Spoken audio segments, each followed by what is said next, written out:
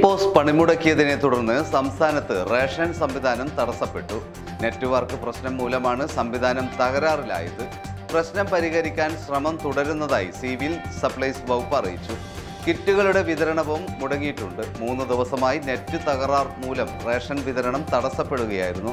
Ration വ്യാപാരികൾ ഇക്കാര്യം ബന്ധപ്പെട്ട അധികൃതരെ അറിയിച്ചിട്ടുണ്ട്. കഴിഞ്ഞ രണ്ട് ദിവസമായി ഇടയ്ക്കിടെ ഇന്റർനെറ്റ് തകരാർ കാരണം റേഷൻ വിതരണം മുടങ്ങിയിരുന്നു.